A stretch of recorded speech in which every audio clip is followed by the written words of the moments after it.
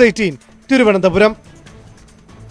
കശുവണ്ടി വികസന കോർപ്പറേഷൻ അഴിമതിയിൽ പ്രതികൾക്കെതിരെ കുറ്റപത്രം സമർപ്പിക്കാൻ സർക്കാരിന്റെ അനുമതി ആവശ്യമില്ല എന്ന് സി ബി ഐ പ്രതികളെ വിചാരണ ചെയ്യുന്നതിന് അനുമതി നിഷേധിച്ച സംസ്ഥാന സർക്കാർ നടപടിക്കെതിരെ ഹർജി പരിഗണിക്കുമ്പോഴാണ് സി ബി ഐ ഹൈക്കോടതിയിൽ നിലപാട് വ്യക്തമാക്കിയത്.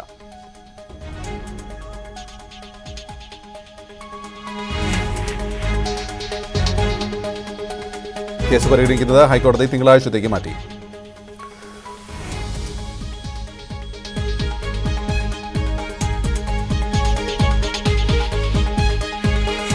സീൻ പ്രകാശാണ് ചേരുന്നത്. പ്രകാശ് എന്തൊക്കെയാണ് സുപ്രധാന വിവരങ്ങൾ?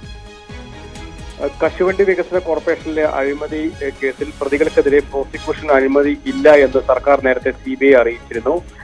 ഇതിന്റെ പശ്ചാത്തലത്തിലാണ് സി ബി ഐ ഹൈക്കോടതിയിൽ പ്രോസിക്യൂഷന്റെ സർക്കാരിന്റെ അനുമതി ആവശ്യമില്ല എന്ന് അറിയിച്ചിട്ടുള്ളത്. അഴിമതി കേസിൽ പ്രതികളായ മുൻ എം ഡി രതീശൻ മുൻ ചെയർമാൻ ആർ ചന്ദ്രശേഖർ എന്നിവർക്കെതിരെയാണ് സി ബി പ്രോസിക്യൂഷൻ നേരത്തെ അനുമതി ചോദിച്ചിരുന്നത്. തെളിവുകളുടെ അഭാവത്തിൽ പ്രോസിക്യൂഷൻ അനുമതി ഇല്ലെന്നാണ് വ്യവസായ വകുപ്പ് സി ബി ഐക്ക് നേരത്തെ നൽകിയ മറുപടിയും. ഏതാണ്ട് അഞ്ഞൂറ് കോടിയിലേറെ രൂപയുടെ അഴിമതി നടന്നു എന്നാണ് ഹർജിയിലെ ആരോപണം. ഇതിന്മേലാണ് ഇപ്പോൾ സി ബി ഐ ഹൈക്കോടതിയിൽ നിലപാട് വ്യക്തമാക്കിയിട്ടുള്ളത്. കശുവണ്ടി വികസന കോർപ്പറേഷന്റെ അഴിമതിയിൽ പ്രതികൾക്ക് കുറ്റപത്രം സമർപ്പിക്കാൻ സർക്കാരിന്റെ അനുമതി ആവശ്യമില്ല. പ്രതികളെ വിചാരണ ചെയ്യുന്നതിന് അനുമതി നിഷേധിച്ച സംസ്ഥാന സർക്കാർ നടപടിക്കെതിരെ ആയിരുന്നു ഹർജി നൽകിയത്. ഈ ഹർജി പരിഗണിക്കുന്ന ഘട്ടത്തിലാണ് സി ബി ഐ നിലപാട് വ്യക്തമാക്കുകയും ചെയ്തത്. ഈ ഹർജി പരിഗണിക്കുന്നത് ഹൈക്കോടതി തിങ്കളാഴ്ചത്തേക്ക് മാറ്റിയിരിക്കുകയാണ്. ശരി. തേനീച്ച കുത്തേറ്റ് മരിച്ച ആദിവാസിയുടെ മൃതദേഹം മൂന്ന് ദിവസമായിട്ടും പോസ്റ്റ്മോർട്ടം നടത്തിയില്ല എന്ന് പരാതി. ഞായറാഴ്ച മരിച്ച വയനാട് കേണിച്ചിറ പാൽനട കോളനിയിലെ ഗോപാലിന്റെ മൃതദേഹത്തോട് അനാദരവ് കാണിച്ചെന്നാണ് പരാതി. മൃതദേഹം ബത്തേരി താലൂക്ക് ആശുപത്രിയിൽ എത്തിച്ചുവെങ്കിലും പോലീസ് സർജൻ ഇല്ലാത്തതിനാൽ പോസ്റ്റ്മോർട്ടം നടത്താനാവില്ലെന്ന് അറിയിച്ചതായി ബന്ധുക്കൾ പറയുന്നു. തുടർന്ന് കോഴിക്കോട് മെഡിക്കൽ കോളേജിലേക്ക് എത്തിപ്പിച്ചപ്പോഴും ഇതേ കാരണം പറഞ്ഞ് പോസ്റ്റ്മോർട്ടം നടത്തിയില്ല എന്നാണ് ബന്ധുക്കളുടെ ആരോപണം.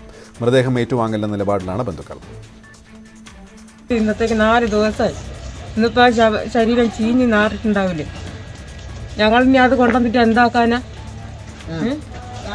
ഇവർ എല്ലാരും കൂടെ ഒത്തിട്ടുണ്ടെങ്കിൽ ഇന്ന് ഇതിങ്ങനെയാവും ഈ ഡോക്ടർമാര് പോലീസുകാരും തന്നെ ഈ പരിപാടി ചെയ്തു വെച്ചിരിക്കുന്നത്.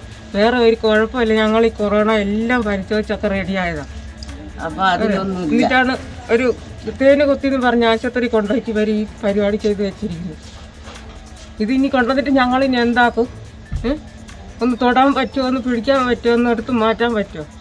ജീവനുള്ളതാണ് നമുക്ക് അതൊന്ന് രക്ഷപ്പെട്ട് കിട്ടട്ടെ ചാച്ചിട്ട് ഇങ്ങനെ എടുത്തോണ്ട് നടക്കാം. ഈ വെറും ശരീരമല്ല ഇവർ ഈ നടന്നുകളെ കൊണ്ട് നടക്കുന്നത്?